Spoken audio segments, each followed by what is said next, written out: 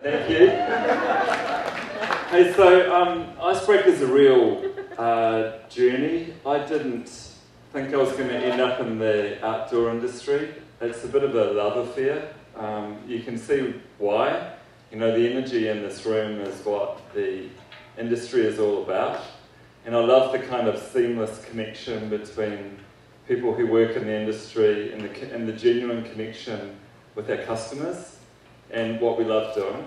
I used to work in market research, and the reason I wanted to start my own business was because I was paid to tell other people about their customers. So I was kind of trying to find something that was, you know, an, an authentic connection between myself and my friends and the type of work that I wanted to do. So I've been asked just to tell a little bit of a story about some of the um, I don't know, stuff along the way. So I'm going to dance all over the, uh, dance over the place a little bit. I'll start with the compulsory baby photo. yes, that's my son, uh, Max. Okay, so um, this is a book I read called The Seven Basic Plots. Um, I love this book. Has anyone read this book? Okay, go and buy it. Um, it's, it's a story about humanity and how we live through stories. And uh, I've also got three daughters, and you know, you grow up and you read them stories, and they have kind of recurring themes. So some of those themes are up there, overcoming uh, the monster or rebirth or tragedy. So I'm going to go through a couple of themes that relate to Icebreaker.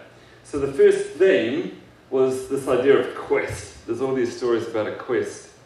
So my personal quest was, because I live in New Zealand, uh, which is uh, not Australia. Uh, thanks though, thank you. No, we like Australia, but it's uh, different. Um, for the first three years I'd come to America and people go, yeah, I love, uh, I love New Zealand, I've been to Sydney. I go, uh, um, anyway, it's not like that now. So um, the quest that I was on, because we live so far away, was to built an international business from New Zealand that had some kind of human values that were actually beyond my country. Um, when I grew up, I travelled through Europe with my family when I was four, and I lived in the US when I was 10 and when I was 12. And would travel and, and live in a camper van through Europe on the way home. And I kind of grew up understanding the world was a small place. And I go like that because being New Zealand, North America, Europe, and Asia was kind of a pattern. So what I was trying to do was find a way to uh, live like that. So my way, my quest was an international business. This is actually what triggered it. So I met a merino wool farmer who threw me uh, these t-shirts. So they're probably not the most beautiful things you've ever seen. But the experience I had when I put them on was beautiful. Um, I'd been uh, kayaking and mountain biking with some friends wearing polypropylene just before this for five days. And anyone that's worn polypropylene for more than about, no one still uses that, do they? Um, for more than about, you know, a day realizes that there's real problems, right? So here I was with a problem to solve. I stink and given a t-shirt that felt kind of luxurious and exciting and was natural. So that's what kind of triggered the quest in a way. It didn't look very exciting. Um, my background really was in um, cultural anthropology, which is trying to understand the meaning that we as humans give objects and how we use those objects to reflect either who we are or who we want to be. So the challenge was to take a fibre or a fabric actually that had intrinsic goodness because when I put it on, it felt amazing. It had incredible technical qualities and it didn't have any of the problems of the old wool that I used to have. It wasn't itchy and heavy. I could throw it in the washing machine. It didn't have the problems of synthetics. It wasn't made from plastic and it didn't stink. And it was about trying to work out how do you then craft something which is authentic, a reflection of the fibre, and also of the purpose. So that's kind of the brand side of the business. That's what we're actually trying to do in a fun and creative way. So obviously we had a bit of work to do um, from that. this is the first business plan I wrote in 1994 when I was 24. Um, I was broke. Uh, I had to raise $20,000 to um, buy the idea from the farmer. I told the bank that I needed to put a new kitchen in my house, a remortgage my house. The reason I had a house was because I got evicted from the previous place. I raised 20 grand, quit my job, and for me it felt like if this didn't work, um, well actually I kind of lost the right for it not to work. And because I was 24 and didn't know what I was doing, but I knew that the fibre had so much intrinsic goodness, my mantra was, this will work if I don't screw it up. Genuinely. That was what was going through my head. This will work if I don't screw it up. So how do you not screw it up?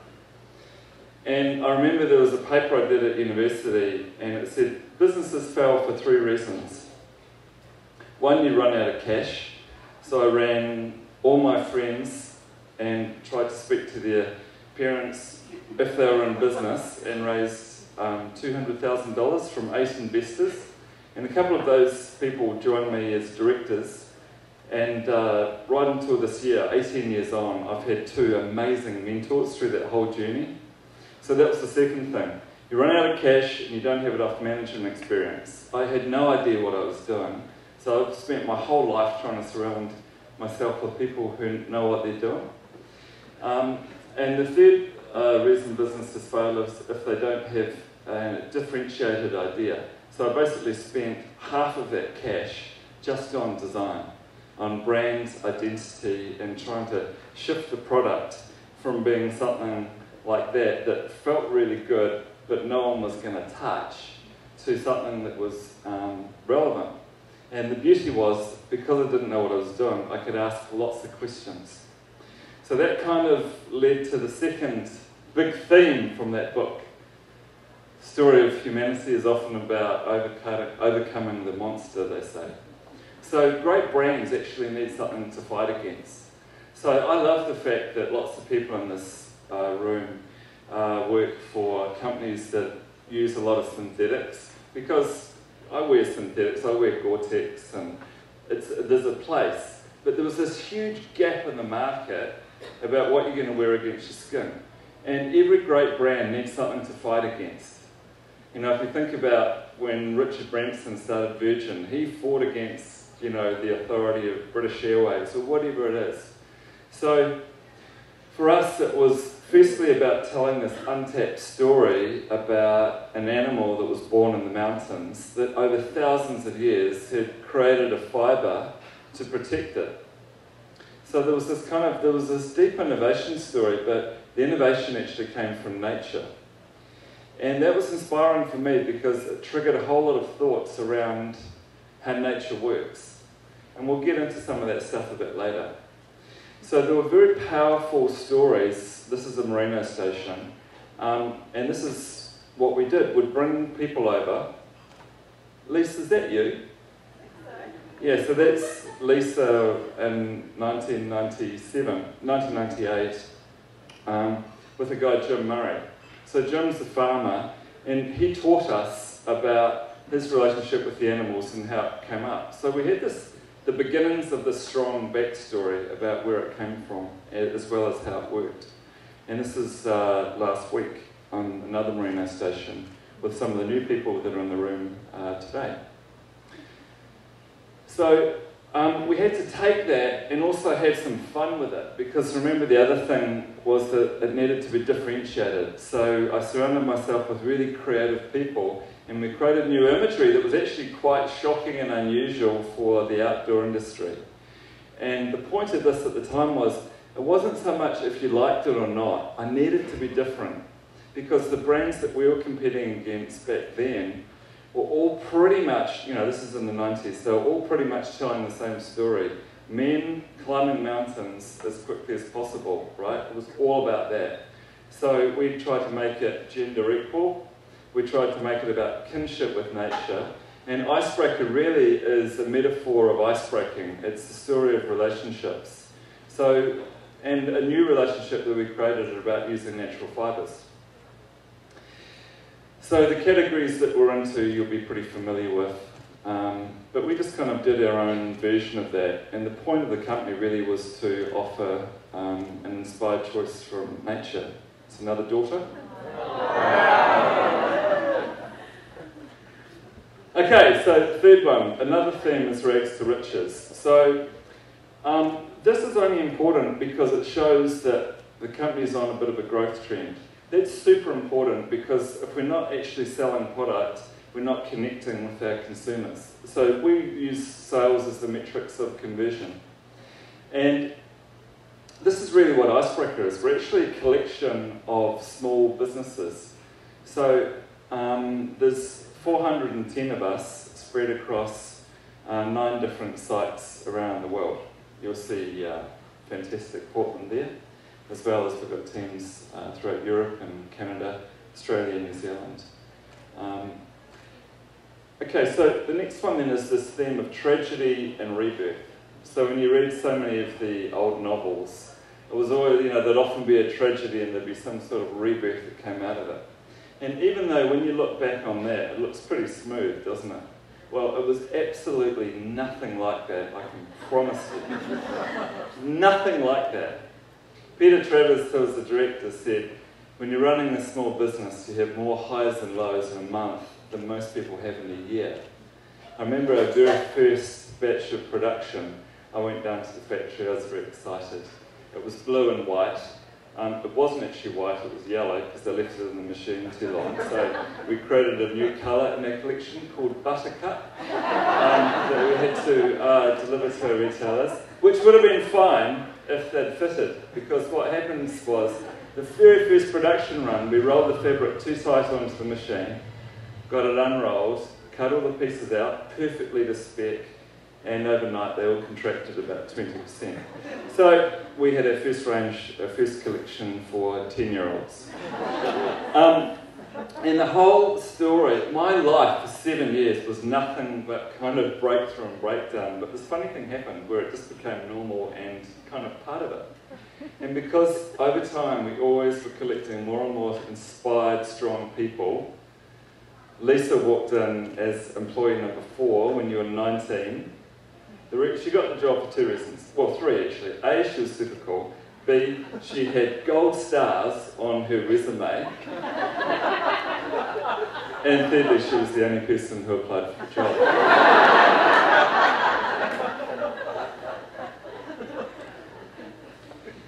But as we were battling through, you, just kind of this pulse of trying to work it out became quite normal. And it feels like nothing is insurmountable if we have a clear sense of what's going forward. So the work we've been doing this week is about recreating the future for ourselves. It's a choice, right? And all we know is that whatever got us to where we are right now is not going to get us to where we want to be in the future, the impact we want to have on our customers, and the impact that we think we can contribute to making in the outdoor industry as it looks for new ways of working and being more sustainable. So, which kind of comes to the next idea then of this waves of change. So, as well as it being a collection of small businesses, we're actually this kind of rebirthing process that we're constantly in. And you probably go through it in your own life, right? Everything's settled, things begin to get a bit shaky, and then two, every two or three years, I don't know about you, but I kind of have to shed my skin a little bit and rethink about who I want to be for the people I'm working with, my family, for my friends, in order to be the person that you need to be to create the future that you're committed to. So we're at a very exciting time right now because we've had a really great milestone until where we've got to. But the entire future of the company is going to be determined by the people that we're bringing into the business right now and the choices that we're making. And they're genuine choices.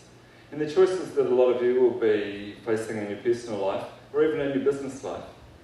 You know, if you're a wholesale driven company, do you set up your own retail stores? How do you do that in a way which is integrated around your customer? What's the role of e commerce? How much should we be spending on social media? How do you do it authentically? All those exciting dilemmas that didn't exist three or four years ago, that no one has all the answers to, but everyone are kind of restlessly trying to, to take on. So it's really fun when no one has, put, put your hand up if you've got all the answers, right? No one does. We're all trying to work it out. And the industry that we're in is in such a great stage at the moment. We've got new, passionate people entering the industry. We've got people coming from other industries that want to reconnect with something authentic, with something which is soulful, and with something which is actually good for humanity and good for the planet, being active and being connected to nature. And this amazing convergence of trends as fashion hits function, and all the old categories that used to exist, they don't exist anymore. And everything, in terms of the future of all our businesses, or all choices around the extent to which we can imagine that future. So it doesn't matter who you work for, the impact you can individually have on creating those choices with your teams and with, the, and with your customers and with the broader uh, company that you're working for, it is all transformative. We are at such a transformative phase right now. This is a little model that was transformative for me. We drew it on a whiteboard in about six minutes seven years ago, but I love it, so I just thought I'd share it with you. All it is is kind of looks at two, imagine these are two circles. The back end of the business is the whole relationship with your supply chain. Um, and the front end of the business is the whole relationship with your customer. So the amazing, th- like you, prob- well, some of you may have heard of this idea that we launched uh, four or five years ago called Baacode. We can enter the barcode from your icebreaker and visit merino stations that have grown the fibre. The whole idea of that was about connecting people with the source, which was actually about families, 187 families in New Zealand that cover 4 million acres of the Southern Alps that uh, produce about 1,600 tonnes of pure merino for us every year. And what happened with that process is, what I learned was um, how you define your business defines what you take responsibility for as a company. So it might, and so many companies, you know, five years ago, and less and less now, were using kind of agents to create obscurity. But the principles behind this of knowing where it comes from, knowing where it comes from, letting your customers look under the hood, um, and then being proud of uh, what you do, as well as trying to link in with some really clear standards that we can promise our customers. Um, that for me was inspiring because it was this uh, gauge from which to uh, measure all our future decisions by. Because vision and creativity is one thing, but the values and the ethos are its natural uh, brother. So you've got this kind of guide about what feels good and what feels right. And as Icebreaker has become to be way more than this little idea which I happened to start by accident, having the right blend of vision and creativity with deep sense of ethos and purpose is what is what is going to determine the future of the company. Um, this is an advertisement. We've got a store in Portland. uh, I'd love you to go and try a product. Um, in fact, I'll give anyone 35% off between now and Sunday if you mention this event. It's on, uh, on Burnside and 11th. Yeah. So that was actually a plea, by the way. That wasn't like a, it wasn't me casually dropping it in. It's like, can you please go and buy some? So all of that stuff is great, but it's actually determined by the people. So I want to wrap up just by introducing you to one person who's joined the company just in the last year, he's had a really transformative effect. I thought it'd be great to hear from our new chairman, Rob Fyfe because he's been a real mentor for me, but also he's not from our industry. So um, I gave Rob a lot of notice. I asked him about 40 minutes ago if he wouldn't mind saying something. Um, and uh, yeah, so Rob has formerly been uh, CEO, CMO, CIO of a bunch of different companies, most recently running Air New Zealand for the last seven years. Um, had a huge impact on me personally. I'm in Portland every six weeks, so I've been flying a few hundred thousand kilometres a year um, for 18 years. So as a kind of, I, a, I was a keen stakeholder in Air New Zealand. And the amazing thing that Rob has managed to do, which he's also teaching us, is unlocking the power of their people and how that can have a massive impact on your customers. So Rob, I'd love it if you could share a little bit of your story and also tell us why you're a part of Icebreaker.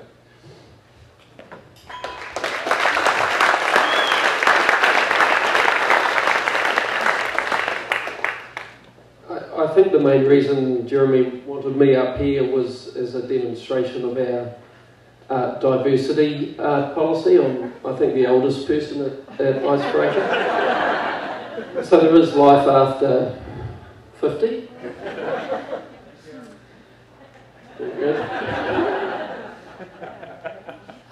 I thought uh, where I could add uh, value is to talk about joining an organisation as a new employee. I know a number of you uh, here tonight are just starting out uh, on your careers. I was talking to some woman earlier this evening. I found it quite inspiring just thinking what lay ahead of them I've worked in a number of, of different organisations, and one of the things that drew me to Icebreaker is, I guess, a shared philosophy uh, and a shared belief that Jeremy and I have, and that is that brand and culture are all inherently about people and our relationship with each other both inside our organisation, uh, with our customers uh, and with our suppliers, and in our case at Icebreaker, all the way back to our relationship uh, with the land uh, and with with the sheep ultimately that produce this fabulous, fabulous fibre that we use. But ultimately, a company is, is, is actually a virtual entity. A company really is just a collection of people. Uh, and so the personality of those people collectively defines the culture and defines the brand. And for the brand to be authentic and to be real, it actually must be a genuine and an authentic expression of the beliefs, the personality, the identity of the people that form uh, that enterprise. So as I looked at joining Icebreaker, for me it was about looking and saying, is this an organisation where I feel confident that I can bring my personality, my sense of identity, and be myself and fit within that community and with that collection of people and believe that I can add something uh, to that group of people. And I'm sure Jeremy, in terms of determining would I be valuable uh, to Icebreaker in the role of, of, chairman and working alongside Jeremy was asking himself those same questions. What is that personality and how does that add something of value and, and context and authenticity uh, to Icebreaker? So the, the key message I wanted to convey there is, is for all of you, particularly starting out on your careers, is don't be afraid of your personality, don't be afraid of your authenticity and your individuality. And the companies that you'll find most satisfaction from working with and being a part of are the companies that actually celebrate and allow you to bring that personality, that authenticity and express it and become a part of the DNA and the identity of that company. And that's what we try and do, uh, certainly at Icebreaker and what I've tried to do in the other organisations that I've led and, and been a part of.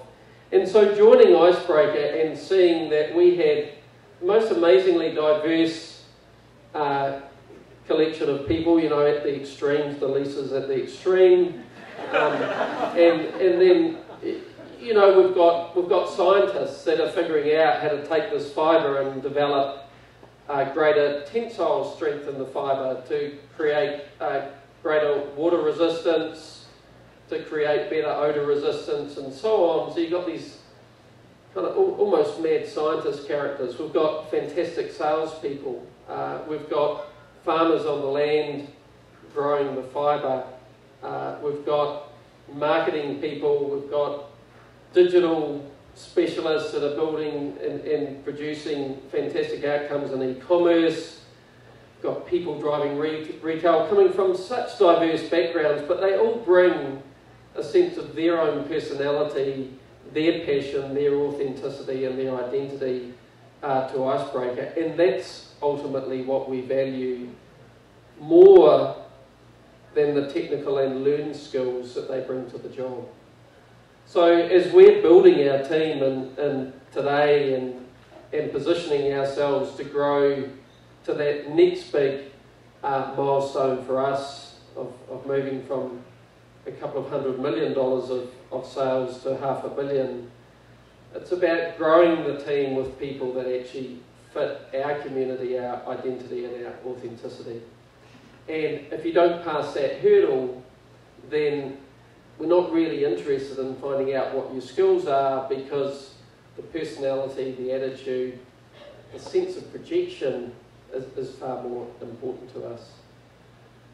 So that was the only message I thought I, I wanted to convey tonight. It's so important. I, I get fearful at times of how the education system tends to try and put us all in, in, in straitjackets and, and hopefully tonight uh, looking at what's going on in Icebreaker maybe just as a little, uh, a little motivation and message to unshackle yourself from those straitjackets. Thank you.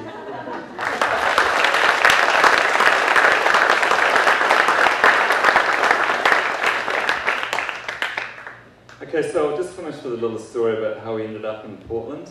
Um, so, in Europe, we started in 1999, and it's actually much easier to build an international brand in Europe than it is in the US. The reason is that there are lots of distributors there, and Europe is very used to working with foreign brands. Um, in the US, uh, pretty much all the major brands have their head offices here. So there was, we had to work very hard. In fact, I'll tell you what I did. Um, there was a fantastic woman who runs the Australian market called Fran, and she pretended to be my PA, because I didn't have one. This was in 2001. And we went to the OR show, and we met every single CEO at the show. They all said no, apart from two. Um, so we got two offers to uh, co-develop icebreaker in the US. The guy we chose um, was running a company called Gramicci at the time, and uh, was an absolute character and fantastically well intended, and went out on a huge leap and committed to launching an icebreaker, not because he needed to, or even because uh, he thought it was a good idea, just because he was, thought it was so fun. So it was actually really good because we kind of kicked off um, but then his business went bankrupt uh, three years later. He had the honour to ring me and say, look, this isn't going to work out. Um, I really want you guys to be successful. And there was another chap I met who was living in Sun Valley. So we set up our first US office in Ketchum, Idaho. Um, not the best place to build a team from. Um, I was hugely excited for the first year because it's fantastic skiing and gorgeous place. Um, but as we started getting serious about the US market, uh, that didn't work. We were also struggling to find talent in New Zealand because design talent around technical apparel uh, isn't the country's forte. We're a bit of a lone wolf. So, um, confronted with this choice around we've got a talent shortage in New Zealand, the skills that we needed, and we've got a stunning but um, quite ineffective office in the middle of nowhere that's when we converged on Portland.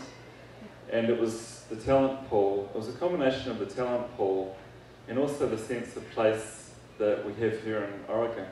For me as a New Zealander, I feel quite at home. And even though we've got about 50 people in our Portland office at the moment, that will grow to about 70 over the next 12 months. Um, there's probably 10 or 12 New Zealanders here, so it's a nice mix. and it's just a place where we feel at home. So um, I just want to say thanks to uh, everyone who I've met so far who's been so welcoming to me and to the company. And I just feel really fortunate that we put our stake in the ground here because it's a fantastic place. It's the ultimate place for us to build uh, a business from long term. We're still keeping our office in New Zealand, we still keep our offices in Europe, but for us this is the perfect hub for what we want to do. So thank you very much for having us here tonight and hope to meet some of you after this.